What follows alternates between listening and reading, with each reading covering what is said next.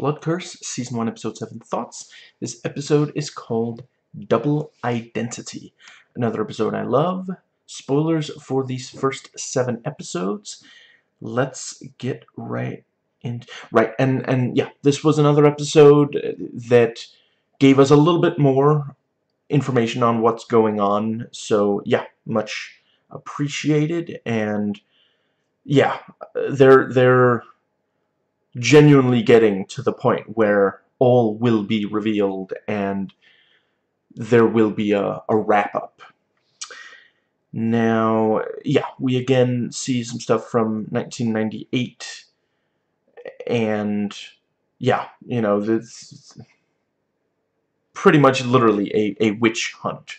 You know, they suspected him because he meditated, so they think he's doing black magic. And this is sadly the sort of thing that has happened throughout history if someone performs spirituality in a way that others are not comfortable with, that lies somewhat outside the norm, so, yeah, they might be suspected of being dangerous to the others and will be killed in an act of perceived self-defense.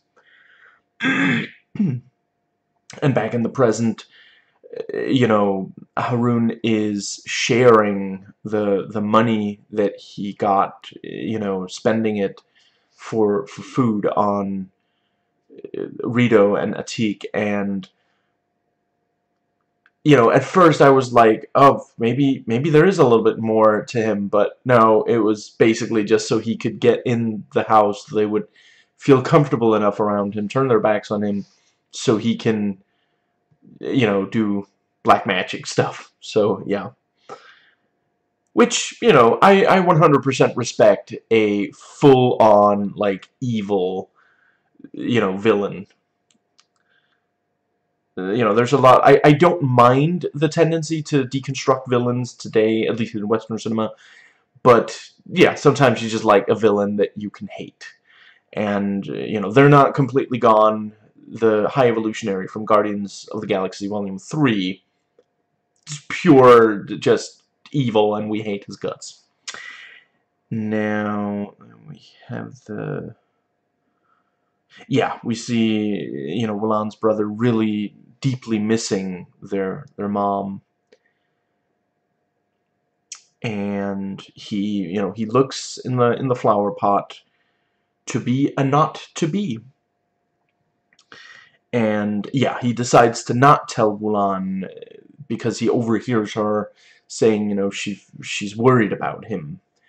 And yeah, uh, you know, it's what he does is not the only other option, but you can understand why he doesn't just go to her and say, "No, look, I you know, she's been very skeptical of the entire black magic thing and you know, she at this point considers him paranoid. So him, you know, if if he did show her the knot, you know, she might either, you know, maybe she would be like, are you, you know, maybe that wasn't really Harun or something, you know. So, yeah. And we see him get out a knife and, you know, stab it into the, the what's it called, bedside table or whatever it's called, you know, so yeah, that's very very intense. I appreciate that later he is he does start out just looking for evidence, though I'm not entirely sure that was always his plan when when he went there. I think he might have cooled down over the, you know, because he wasn't able to attack Harun immediately. And that's, again, that's very psychologically credible. Uh, it, it is the kind of thing that you know, if if the if you're not immediately able to give in to your anger on something like that, if if you have a little bit of time where you're not doing it, yeah, you might, you know, no longer be because it's it's an emotional state. It's not this, you know, it's not a it's not a natural permanent state you know, uh, comparatively, if you're hungry, you're going to keep being hungry until you're able to eat something. But anger, that can dissipate if you're not constantly reminded of it and able to at least somewhat act on it. And yeah, so he finds the, the contract so he can go to Harun's home. See, and yeah, and, and you know, Atik sees uh, Rito cough more than even has has been happening recently. You know, he coughs up something, and she's like, "What's that?" And he's like, "It's a centipede or a millipede. It's it's moving too fast. I can't count the legs." And let's see. Yeah, and you know, he calls the this this other guy from the past and the other guy already knows that something's going on. Never mind how. I think I have an idea of you know he's he's clutching his stomach and he's clearly in some distress so yeah. And you know he eventually agrees okay you can come back here which I'm guessing we'll see in you know one of the next episodes maybe the very next episode will be Rito actually going there. And yeah, uh, turns out Harun moved, and I don't just mean put one foot in front of the other. He moved homes, and Wulan and Essa are very very cute and sweet together, and it, you know. I guess it's an international thing. This thing, no, you you have to try this dessert. It's amazing. You know, that's yeah. Um, all over the world, they're they're yeah. You'll encounter you know people who who are like you gotta try this. I I cannot eat this in front of you and not have you try at least some of it and you know the yeah there's there's ice cream all over her lips. And he's like you know what allow me and and wipes it off. And just yeah you know thick romantic tension. And they do end up kissing. And I really appreciate you know she comes very close to initiating. She she gets very close. And it's very clear that she wants them to kiss and then she waits for him to to actually do the kiss. Instead, you know, there's this uh, problematic notion in at least in Western cinema. I don't know about you know Indonesian, but this idea that it you know once someone wants to kiss someone else, they should just go ahead and do it. You know, they shouldn't try to get consent, not even nonverbal consent. So I really appreciate this sort of thing. You know, maybe James Cameron directed this scene. And see, although he probably should not be directing scenes that involve Muslims. That still, True Lies is still the only James Cameron movie that I don't love. In part because of the Islamophobia. Now, yeah, so, you know, Wulan's brother is struggling to, to find Harun and then, you know, overhears someone talk about, you know, oh, he owes me money. Really? He owes me money too. You know, and one of the mentions, I don't remember his name, but he lives in number seven. So, you know, Wulan's brother is right on that. You know, and he, he tries to dress it up. He's, you know, he doesn't say, you know, I have a knife in my pocket. If if you tell me where he is, like he's a goner, you know. No, he's he's like, you know, ah, my my aunt needs needs a gardener, uh, you know, and I've been trying to kill him. I mean, call him. I, I you know I, I badly need for for you know a, a hole to be dug and for him to be put in it I mean plant something in it you know the the um, yeah. Let's see. And yeah, he does get the the new address. And yeah, he goes there and Harun's partner really badly wants them to to have sex And the scene, I, again, this is possibly just a general, like, Indonesian thing, but it's, you know, it's not really graphic. It's, it's very vocal. It's very audible, but it's not super graphic, and you know, it does feel like they could probably have thought of something else. I, I, again, I don't know if Indonesia if this was an American production, I'd be like, okay, that's there because they're like, if we don't throw some sex at the screen pretty soon, you know, our audience is gonna fall asleep. But you know, they they definitely they obviously needed something to keep from you know Wulan's brother just going directly for Harun. Let's see, and and it is perhaps it's one of those things where like, he's so vulnerable in that moment, and Wulan's brother knows nothing about this girl. For all he knows, you know, she is a saint. So he doesn't want to be stabbing Harun in front of her, you know. And yeah, uh, the the client of of Wulan's talks to her about the the black magic and explains, you know, she lost her father, but she and her mother survived.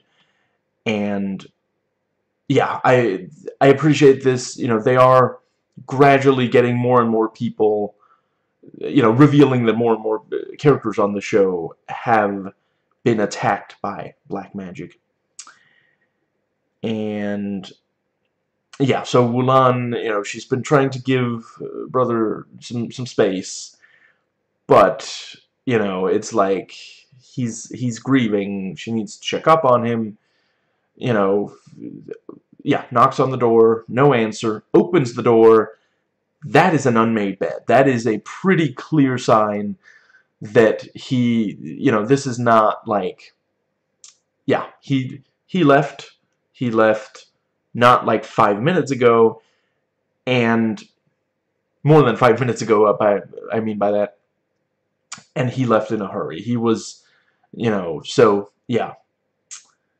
And yeah, so she she calls him and to his credit he answers, you know, and yeah, says, you know, I've been following Harun and she's like my god, are you serious right now, you know? Bro, bruh. But, you know, yeah, he says I'm to I'm to prove to you the that he is, uh, you know, who I say he is. And yeah, the and and I do really appreciate he does record some some proof. So you know, by the end of this episode, he hasn't shown that to Wulan, but I'm guessing he will. Yeah, very early in the next episode, he will. She'll be 100% aboard the Screw Harun train, choo-choo, and will, you know, yeah, it is about time for the skeptic in the paranormal horror story to accept, okay, there's something on. You know, we, we have three episodes left. And then we have the... Yeah, we have the, the like, the, the repairman, and we have a live wire, which we can tell because there are some slightly unconvincing CG sparks, which again, it's one of those things, like, I appreciate, you know, I'm pretty sure you can, like, fake sparks in a, in a safe way, in, with, like, practical effects, but, you know, they're, they're on location, it's, I can imagine it's, it's quite the hassle. And I've yeah in in recent videos talking about the show I've been talking about how much I appreciate that they're there's more variety now to the, the black magic attacks. And yeah, seeing Rito, they do such a great job on the makeup because like you just see right around like it's it's as if there's an invisible fiber wire or something, you know, very nicely done. And his acting helps really sell it. You know, the it's it's fairly simple just yeah, the the acting, camera work, and makeup. Because you know, yeah, if you if you take a step back and think of it as just oh, it's it's a production, it's a it's an episode of of a show. yeah, you know, that he was in makeup for a while, and they, they drew the, the red line, and then they reddened his throat. And, and yeah, from, from there, you know, and they, it's that thing of, you know, Harun is sitting there with, like, a, a small representation of Rito, and, and, like, tightening something around that. Was it like a little chain or some, something like that, you know, and that has that effect on him but but yeah, very very tense, and I right. I also really appreciate the element.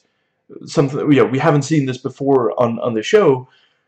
Harun is um, yeah the black magic is stopped partway through uh, because Wulan's brother is able to prevent you know which I I will say I thought that Rito was gonna die and I was like how are they going to get to the other guy who knows about the black magic then? Because it doesn't seem like Atik knew, although I guess the cab driver might. But, mm, you know, since he... No, wait, no, yeah, he probably, he's going to tell the cab driver the address once he gets into the cab, you know. But, yeah, Rito does survive the episode. And, yeah, um, like the horror on the show, the fight between Harun and Wulan's brother very, very, like, visceral.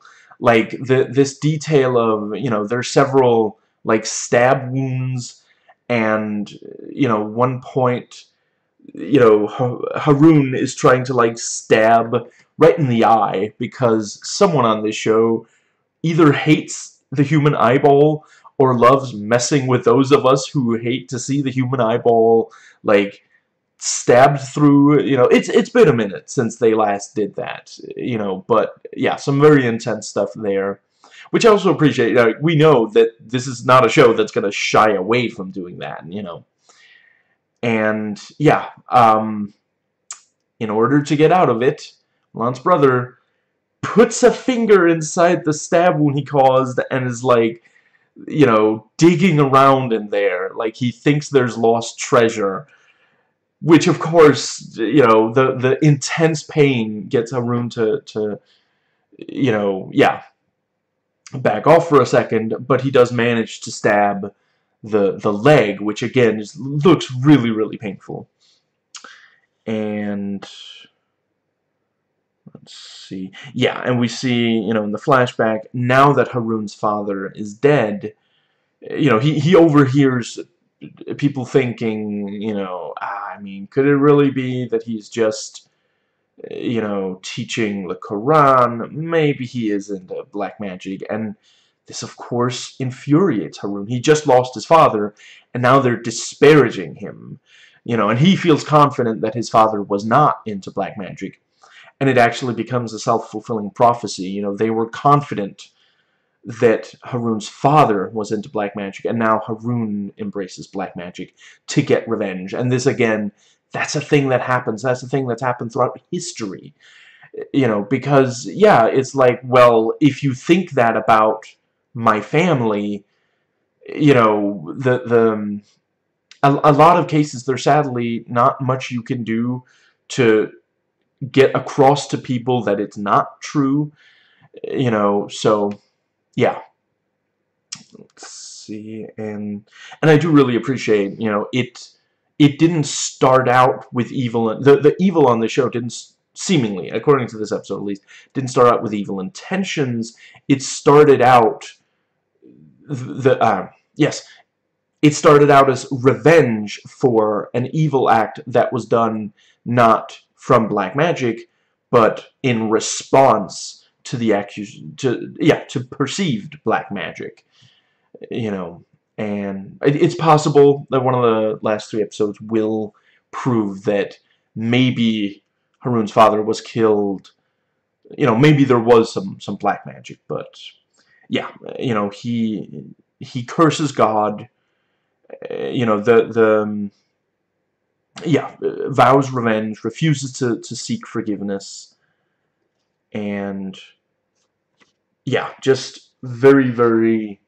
I, I appreciate that we now know, you know, Harun wasn't like born evil or something. He seemed to legitimately embrace good up until this point. But yeah, this one-two punch of losing his father and in such a gruesome way, like they cut his head off, which I also appreciate. You know, I, I would have been surprised, you know, as they were building up to the reveal, I was like, there's no way they're not going to show, you know, but yeah. And, and great um, practical effects there. Looked incredibly convincing. I mean, they, holy crap, they must have built that entire, like, fake body for, for just a few seconds of screen time. Fantastic. Just, yeah. Um, and, yeah. The one-two punch of losing his father and then his father being accused of black magic. Like, it's, even after he's dead, they can't, they're not like, okay, you know what, this is more, this, I'm not, I'm not okay with this. This is not you know, because, like, you'd hope that that would be the reaction. Like, I mean, yeah, I, I heard he was into black magic, but this is not okay. But no, they're instead they're like, I don't know, I mean, he might have been into black magic. That's probably why this happened, you know. Which also, it is very human to, to try to find an answer, to, to, to determine a reason for, for something bad to happen. But that's really not what you want to hear right after losing someone so close to you. So yeah, um, really appreciate the, the couple of little hints we got here of what's, you know, yeah, what is, is going on. Left for the, the show to, to cover in the last three episodes, we still don't know exactly who the you know, clearly there was someone else behind Black Magic that isn't uh, um, Harun. And let's see. Yeah, the um, I think that is about it. So yeah, um, let's see. Next episode, I expect to cover in eight. Oh, hold on. No, wait, that's right. Yeah, I'm taking a break off next week. But, yeah, so in, in two weeks, I will cover the next episode. And, yes, um, and, and next week it's because I'm reviewing a horror movie.